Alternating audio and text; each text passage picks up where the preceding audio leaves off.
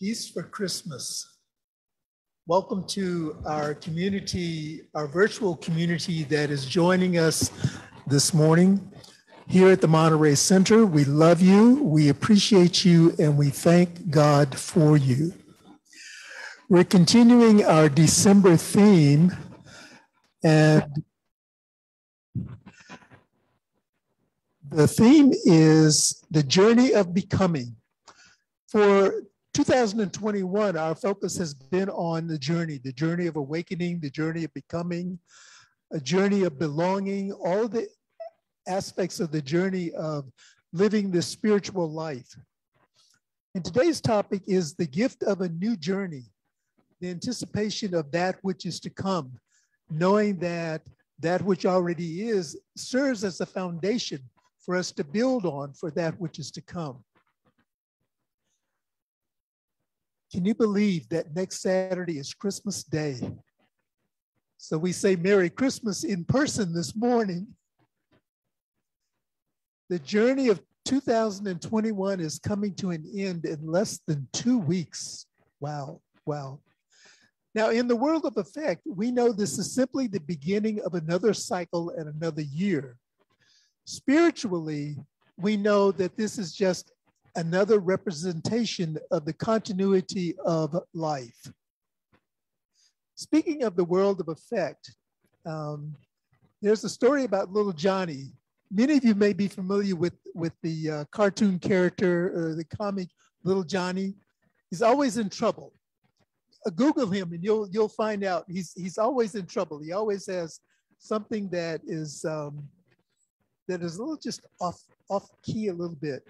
Um, but this is when little Johnny in, is in class and the teacher is giving them, uh, is teaching them about math. And so the teacher says, if you have a dollar and you ask your father for a dollar and 50 cents, how much would you have? Little Johnny answered, $1. The teacher, just in exasperation, said, You just don't understand basic math shaking her head in disappointment. Little Johnny shook his head too and responded, You don't know my daddy. And so in, in, in our laughter and our joy and our fun times, we also recognize that another aspect of this year, another aspect of this journey is the winter solstice, which is this Tuesday, December the 21st. It is a time for stillness, a time where we pause for a few days and recognize the dwindling light and the lengthening of days that follow. And of course, it's vice versa in the Southern Hemisphere, where their darkness is coming into, no, they're going into the darkness. We're coming into the light. They're going into the darkness. It is also that time to listen to the still small voice as it speaks and gives us the mystery for the journey. So we're listening for the mystery, and it's out of the mystery that we gain mastery. And so the gift of a new journey is knowing that the sacred continuum cycles upward. It is a time to discover and express our greater yet to be. We greet this with joyful expectancy and awe following our own star of wonder and star of light. One of my favorite sayings from our Science of Mind textbook is this quote by Ernest Holmes. Nature will not let us stay in any one place for too long. She will let us stay long enough to gain the experience necessary for the unfolding and advancement of the soul. For me, this signifies that something is always taking place, that change is always taking place. And it's an opportunity to either resist the change and experience the outcome of that resistance, or to be in the flow and to go with the change in the full awareness that whatever is occurring is for the unfoldment and the advancement of the individual soul. We know that life is infinite eternal, and forever expanding. And the good news is we can start anew in each moment. We can use the creative process to create the life that we desire and become that which we think most about. We create our experience in life by using the creative process to create for ourselves the life that we desire, recognizing that we become what we most think about. Thus, the expression change your thinking, change your life. If something is not working, change your thought about it. Take the time to go into the stillness and examine it and, and to just ask, what change is there that can take place? Science of Mind teaches that our past is not bound by precedent. We have the power within to change our thinking and our viewpoint about any situation. It is through our active practice of affirmative prayer that we move our consciousness to accept that which brings a new perspective, that which brings clarity, that which brings harmony, demonstrating that whatever we seek to experience we actually will see in form. This is the result of the creative process. And I take us back for a moment to our Science of Mind teaching symbol. Remember that it is the circle with the V that is in the middle, and then there are three parts to it. The top part is, and I'll use the illustration that we do for junior church. The top part of the teaching symbol is the seed. And this is, this is where the creative process begins. The seed idea in the mind of spirit, in the mind of God, is planted into the fertile soil, which is the middle portion of the teaching symbol. That is where the, the seed germinates and grows and receives its nourishment. And then the bottom part of that symbol is the plant or the outpicturing. So whatever our thought is, is planted into the fertile soil and the fertile soil nurtures it and it outpictures as the experiences and the examples of our life. This is what is meant by seeing what we experience in form. And so a couple more points to illustrate this gift of a new journey. There's a Zen Buddhist concept that talks about beginner's mind. And beginner's mind is that which encourages us to approach each encounter that we have with each other and each event with a sense of unbiased curiosity. We approach it with a sense of unbiased curiosity. This curiosity opens our minds to the infinite possibilities that are around us.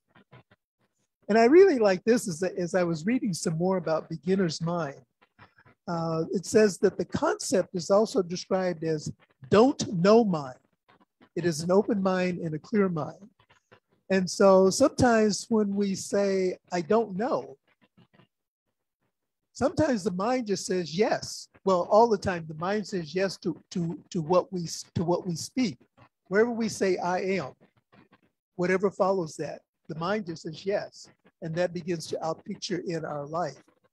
When we say I don't know, that also can be an opening for the curiosity to reveal itself, for the answers that we have been seeking to reveal themselves. Beginner's mind is essential as we approach a new year. It's a pause to think about how we are engaging in life. And it is from this fresh new beginner's mind that we envision what might be possible.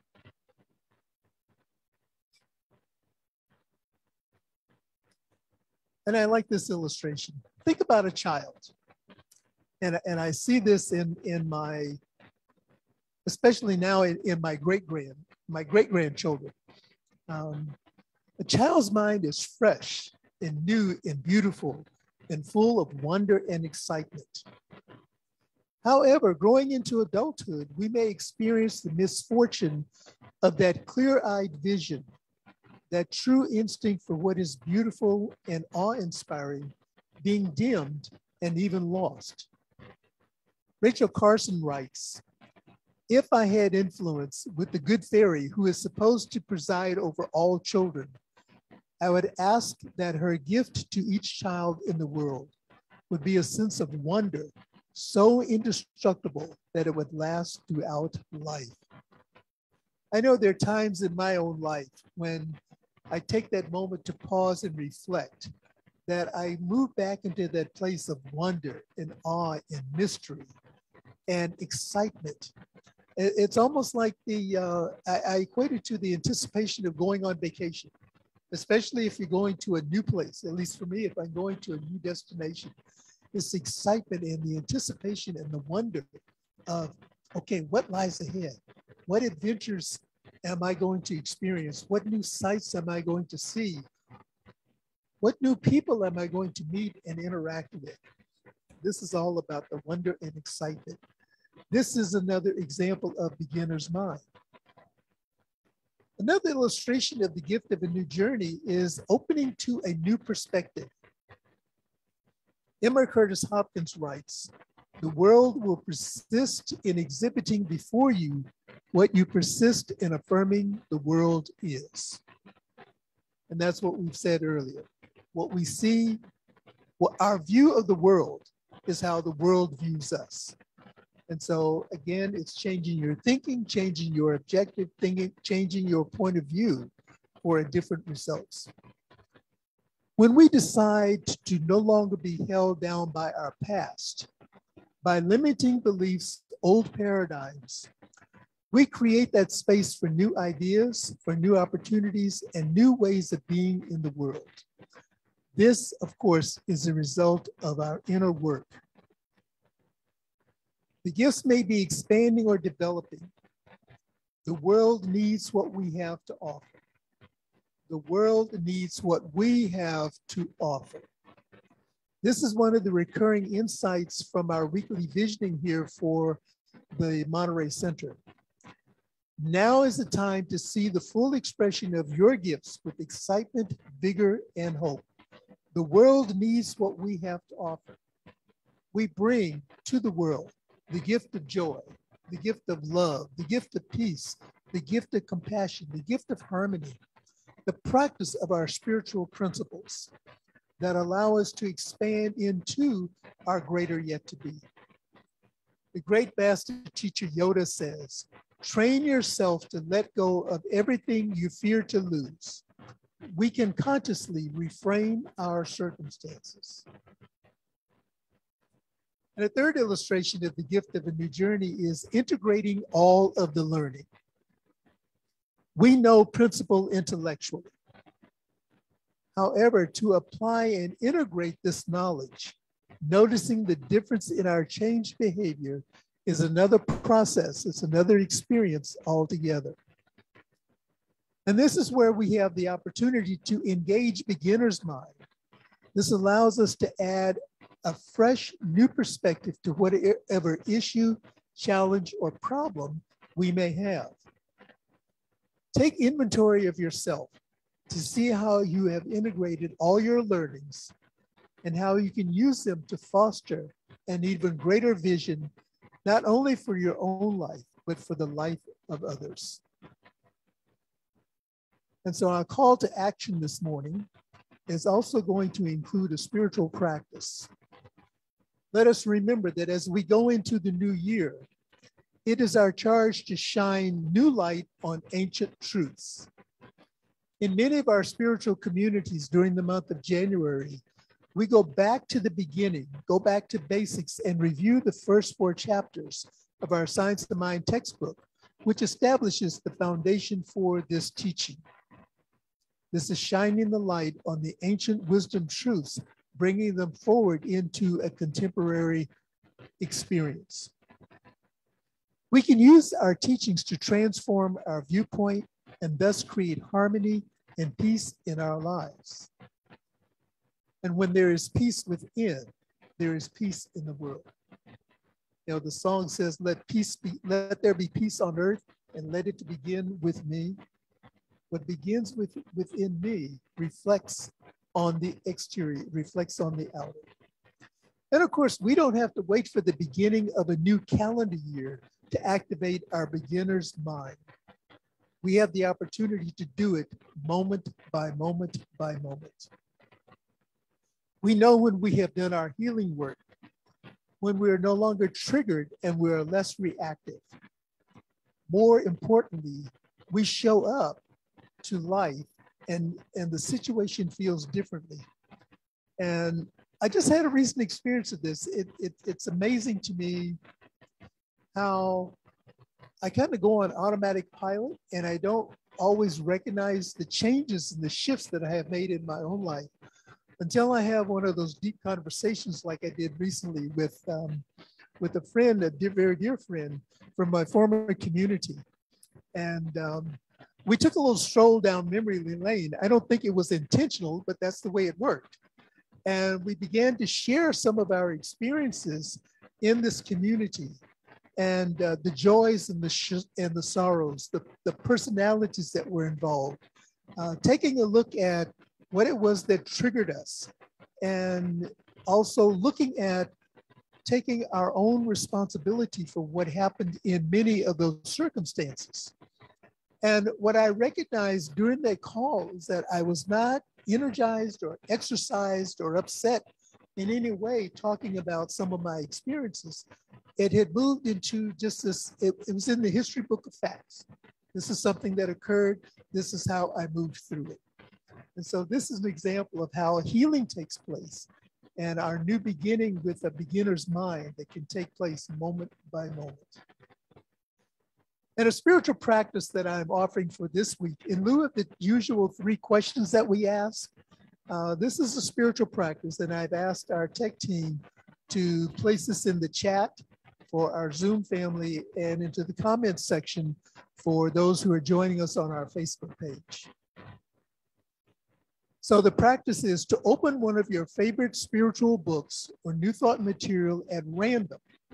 Open it at random and select a portion of that page or paragraph that speaks to you. So be with it for a moment and allow it to just reach out and, and call you to what it is, what the words are. Then mindfully read, reflect, and journal about how you may see this writing in a new way.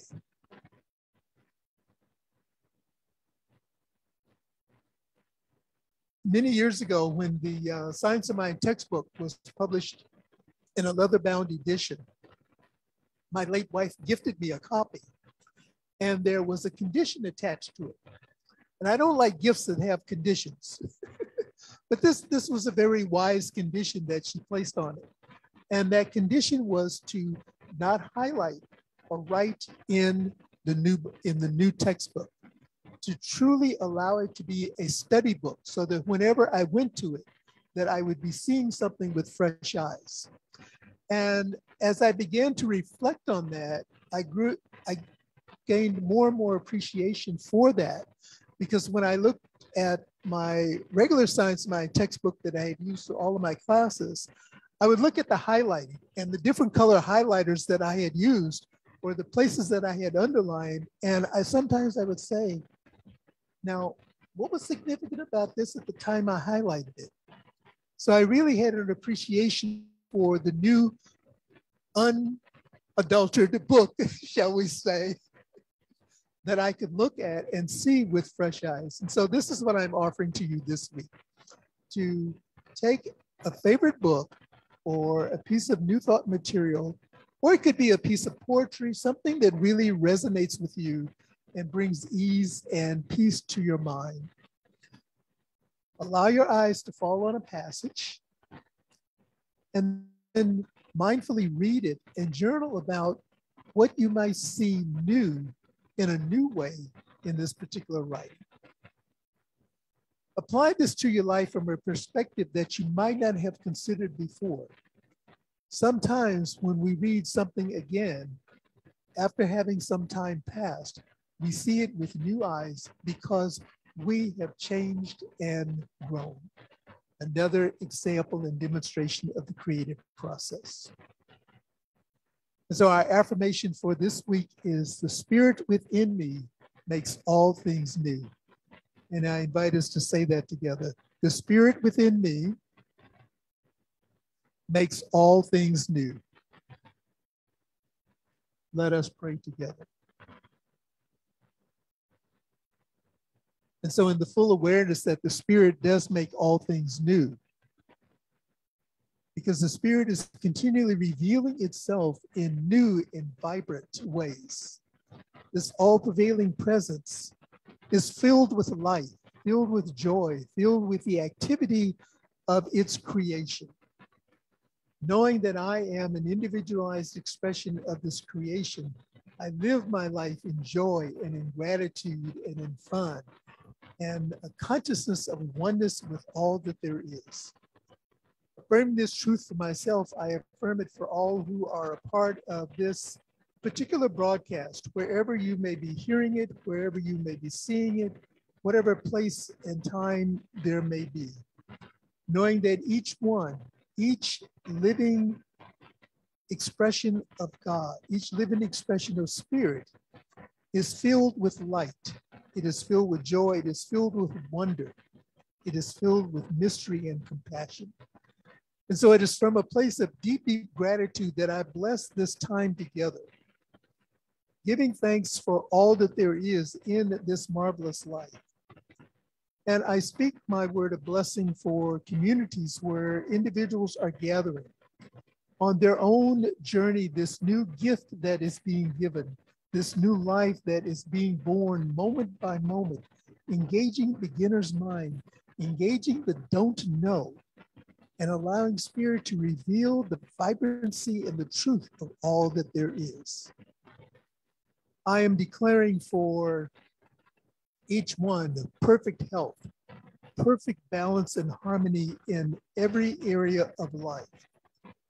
For those who are experiencing a dis-ease in the body temple or a dis-ease in any other aspect of life, I am affirming that the spirit within is bringing to a complete resolution.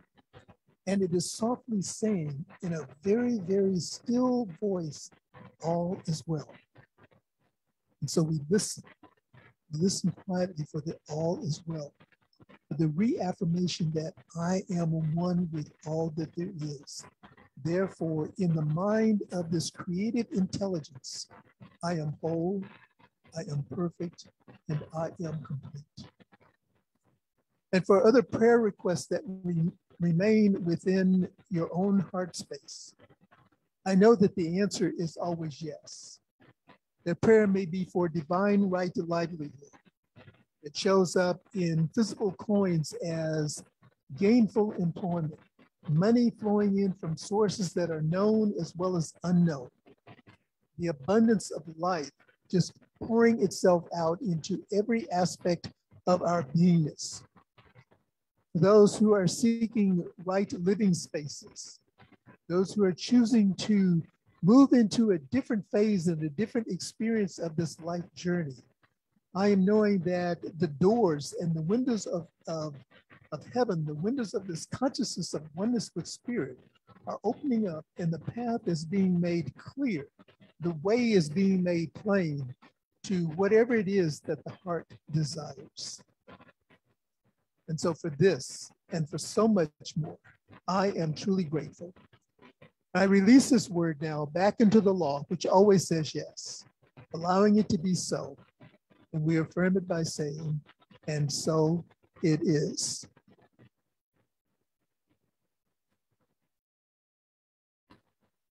I'm going to pause for a moment and remind us that our ministers and prayer practitioners here at the Monterey Center are always available to meet with you, to pray with you, and to know the truth for the wholeness and the well being.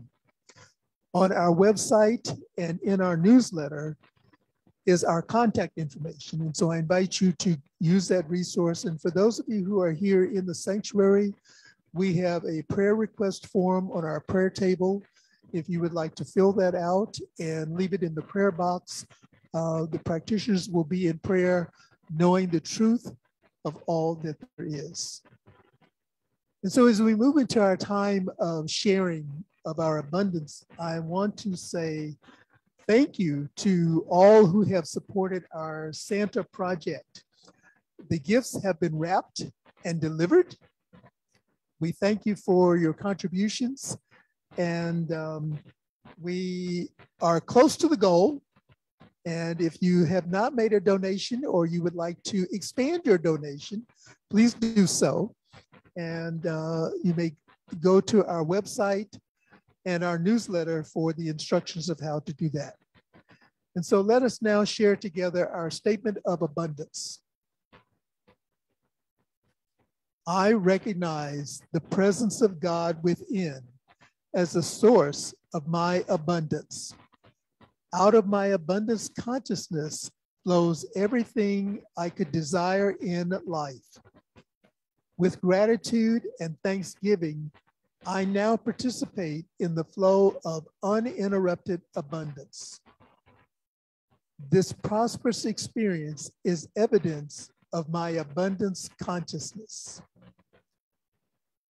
And on our screen, there are the ways to donate to the center. You may mail in a check to our uh, physical location, 400 West Franklin Street, Monterey, California, 93940.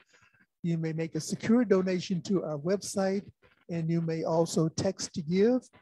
And we will also be adding the option of uh, giving via PayPal. Um, we have the, the feature set up and we just need to work with our bookkeeper now to get it activated. So that will be another option for you. And so to our Facebook community, we say Merry Christmas. Thank you for joining us and we invite you to return next week where we will continue with our theme, The Journey of Beginning, and the message will focus on the gift of a new dawn.